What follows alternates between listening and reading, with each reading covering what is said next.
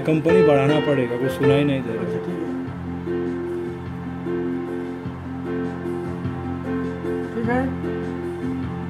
है।